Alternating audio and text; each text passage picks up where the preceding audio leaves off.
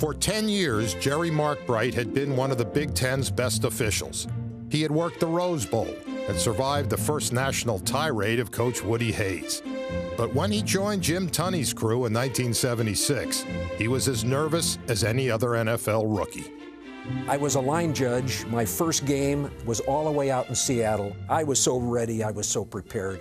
And I was concentrating on that two minute warning, concentrating, concentrating. When it came time, I killed the clock. I came running in the gym. I said, Jim, two. He said, Come closer. He said, What are you giving me? I said, I'm killing the clock and I'm giving you the two minute warning. He said, Your signal for the clock was excellent. He said, Your two minute warning signal was perfect. He said, Now return to the sideline and give me that signal with two minutes left in the second quarter, you dummy, not the first. Markbreit's gaffe was soon forgotten, but two years later, he was part of one of the greatest plays in league history the Holy Roller. It was my first nationally televised game as a referee. Looked up at the clock, 10 seconds remaining in the game, and I thought, boy, you did it this time. Almost a perfect game. People are going to know who I am. I was excited on national television. I said to myself, what could possibly happen? 10. The ball on the 14. Oakland trails 20 to 14. The crowd takes up a chant of defense. Stabler back. Here comes the rush. He sidesteps.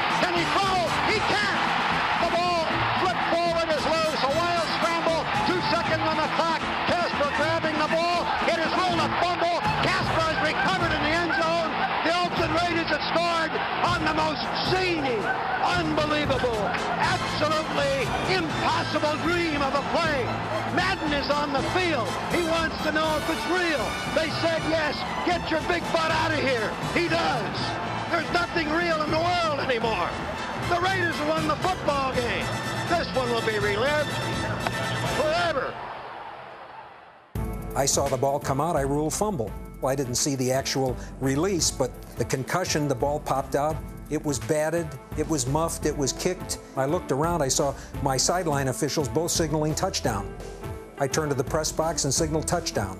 Still blows my mind how the referees could not uh, see what it was or, or uh, discern exactly what happened. I cannot think of, of, of a more outrageous uh, form of, of outright Raider thievery and cheating that, that's ever occurred. And it was one of those things that you, maybe you can't do that, but the rules say that you can do that, so you can do that. And if you don't want to do that, then go change the rule. And that's exactly what they did. They went and changed the rule. Shortly after the game, a T-shirt was stamped and sold in San Diego, and I heard they sold 50,000 T-shirts. Working the NFL's biggest games would become second nature to Markbreit, who worked four Super Bowls, more than any other referee, although his first one didn't start off so well. Super Bowl 17, my first Super Bowl. A special coin was to be used for the toss, commemorative coin. Elroy Crazy Legs Hirsch would bring it out to the middle of the field. The helmets on the coin are tails. Out I walked, followed by my crew. Out came the Miami captains on my left, Washington on my right. Theismann, the spokesman for Washington, Kuechenberg is going to call the toss. The side with the two helmets is the head. Going to call the toss? Number 67 calls the toss. Up went the coin. Tails, he called, and I said, You called tails, Captain, just like I always do. Tails is the call. Head. Washington wins the toss. And on that split second, I forgot that the helmets were tail. It looked just like two heads. So I looked at Theismann. I said, It's heads. You win the toss. Hirsch looked at me and he said, Didn't you say the helmets were tails? Theismann stepped toward me with a sullen sneer. He said, When I was at Notre Dame, you used to work our games. He said, You stunk then. How could they have selected you for this game? You can't even toss the coin. Earning a postseason assignment in 23 straight seasons as a referee and replay assistant, Markbreit became a celebrity. Publishing three books, writing an internet column for the Chicago Tribune, giving motivational speeches, and appearing in major Hollywood movies.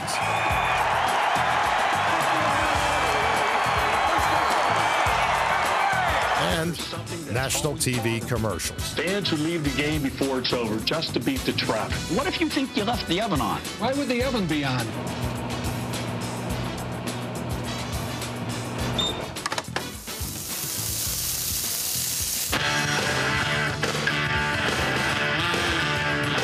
Jerry Markbreit may be the hardest working man in show business, but his greatest memories still come from his days on the field.